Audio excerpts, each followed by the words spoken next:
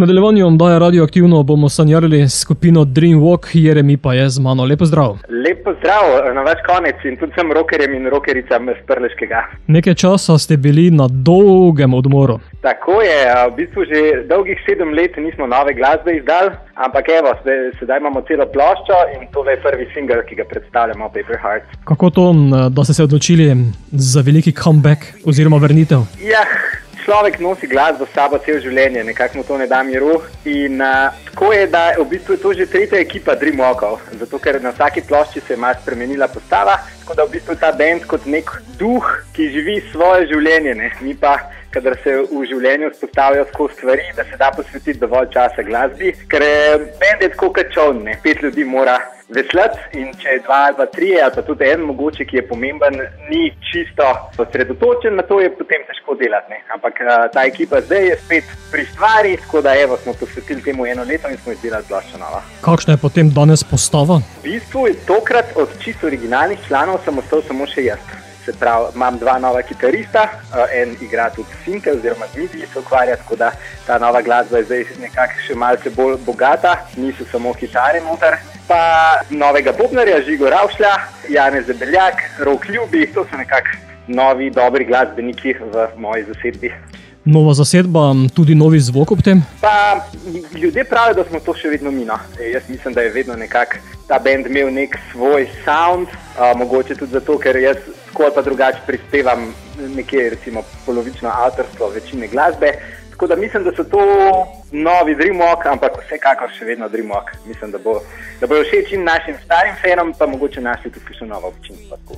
Kaj pa pomeni to, da ste v zvok oziroma glasbo dali več vesolja? Ja, tako če lahko malo na dolgo povem, mi smo v bistvu ustvarjali to ploščo eno leto. Se pravi, najprej smo naredili demote, potem smo pa um, šli bobne posnet v, v studio. In ko smo imeli bobne, smo se zaprli v vadbeni prostor v glasbenem mestu Detroit. Tam srečate sicer tudi uh, veliko uh, velikih slovenskih bendov, med drugim se tam Sidarta, pa Elzi Jackson.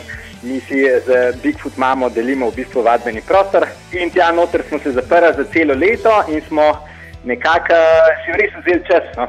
Bili nekako sami sebi producenti in res izdelali to glasbo do te mere, da smo bili popolnoma z njo zadovoljni. In uh, te dogodki tekom tega leta in te interakcije med ljudmi, tudi interakcije tam v glasbenem mestu z drugimi glasbeniki, nekako vse to je našlo svojo pot v to našo novo ploščo. Tako da je res polna. Vsega in s tem tudi vesolja, seveda.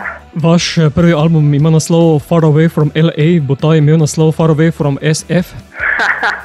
ja, to pa ne vem, nekako ta sentiment še vedno ostaja, ker smo bili otroci, smo mislili, da bomo šli v Ameriko z našo muziko. In za en zelo kratek trenutek nam je to tudi ratalo, ker smo namreč za prejšnji singel imeli ameriškega založnika. Ne? Ampak mislim, da smo nekako se eh, ustalili in usidrali, da to ne bo far away od ničesar, ker bomo kar nekako probali v Sloveniji si izgraditi dom, tako kot je treba.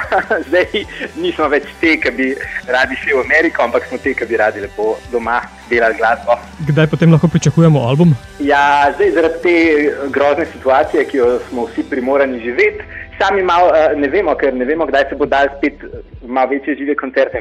Tako da smo dali vam zdaj en single zdaj bomo malo počakali, potem bomo ponudili še enega, zelo drugačnega, ker uh, moram reči, da zdaj na tem pijo, ki prihajajo, so zelo različni komadi, kakšni so taki, ki na prvi plošči, kakšni so imajo popolnoma nov zvok.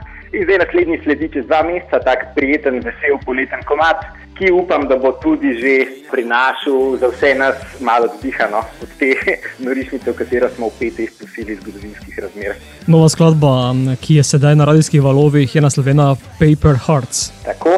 Ja, to je v bistvu neka klasična balada, tako bom rekel, vedno se najde v vsakem obdobju, pa na vsaki plošči, mislim, da vsakega glasbenika mora biti vsaj ena ljubezenska storija. Veste, da je to najmočnejša sila na svetu. In ta skladba je v bistvu govori o tem, da lepo je biti zaljubljen, ne?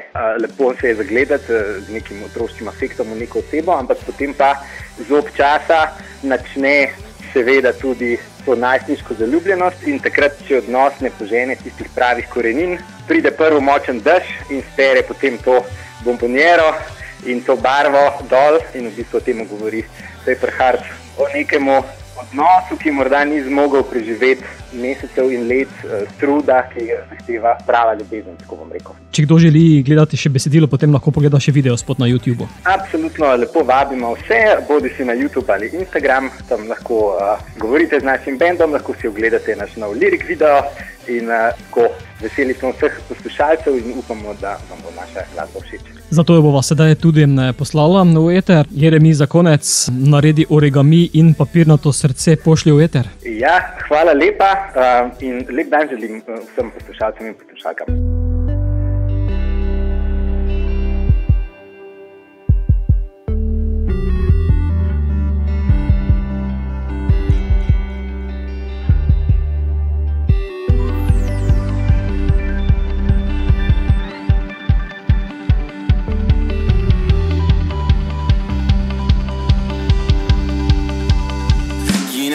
everything's changed